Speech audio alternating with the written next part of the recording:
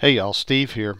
Hey, today's video is for those of you who are shooting 4K video or those of you who may be thinking about getting yourself a 4K camera and some ideas about editing. Today is a little bit of an experimentation for me.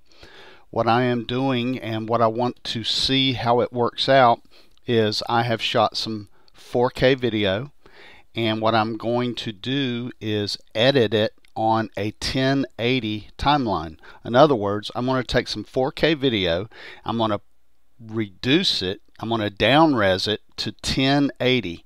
And what I'm hoping that will happen is that all that information in that giant resolution of 3840 by 2160, when I compress it down to 1080, I hope it's going to make for some outstanding picture quality. So I wanted to show you what I'm doing in Final Cut Pro 10 to accomplish this. So what I've done is I have shot some 4K video and I have assembled several clips in the timeline.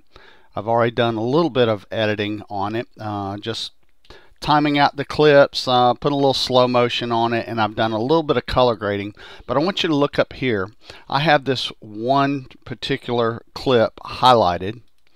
And if we go up here to the info button, you will see that it is 3840 by 2160 and it's at 29.97 frames per second. So that's what I'm working with. Now, let's go up and look at our project. So I'm going to go to Window, and da, da, da, da, where's it at? Where's it at? Where's it at? Project properties.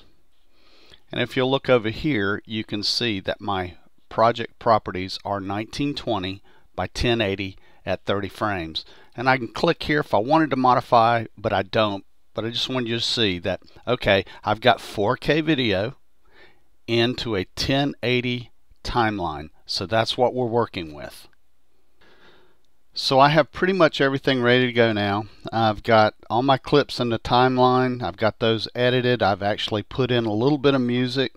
So I'll play just a little clip for you.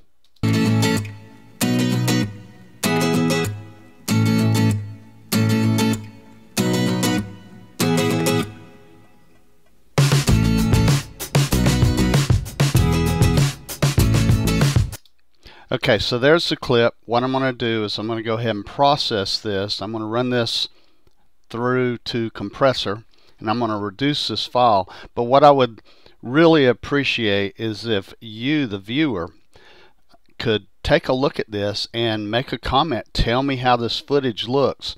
When you're watching the video, just make sure that down there at the bottom of the YouTube video player, the little gear symbol, Make sure you have that set to 1080 and just give me an opinion because I'm taking a lot of information, a lot of data in 4K.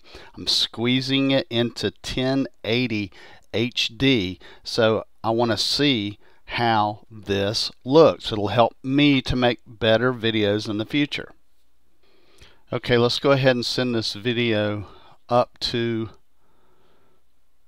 compressor, da, da, da, da, da. oops, let me click into the timeline. Here we go. Going to send it to compressor. Going to add an output. I'm going to just select 1080 HD. Click OK. And over here, I'm going to look at my properties real quick. I think everything, I don't think I'm going to change a thing. Let me look at this real quick. I'm going to leave it at 20,000 kilobits. That sounds good to me. I'm not going to, uh, the more, the higher this number is right here, the generally the higher quality your video will be, but I'm going to leave it just as it sits for this test. I'm set the way I want to, so I'm going to start this batch and let it let it do its thing. So I will be back in a while. Okay, compressor has finished processing that video. I'll play just a clip of it right here. It's in 1080.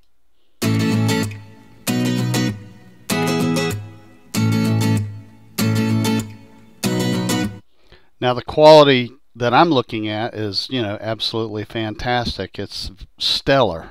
But so what, let's kind of re-summarize here. I've taken 4K video, I've squeezed it down into 1080 video. So at the very end of this video, you'll see this complete um, little video that I shot and I would definitely like to hear your comments. Okay. Hey, I'm Steve.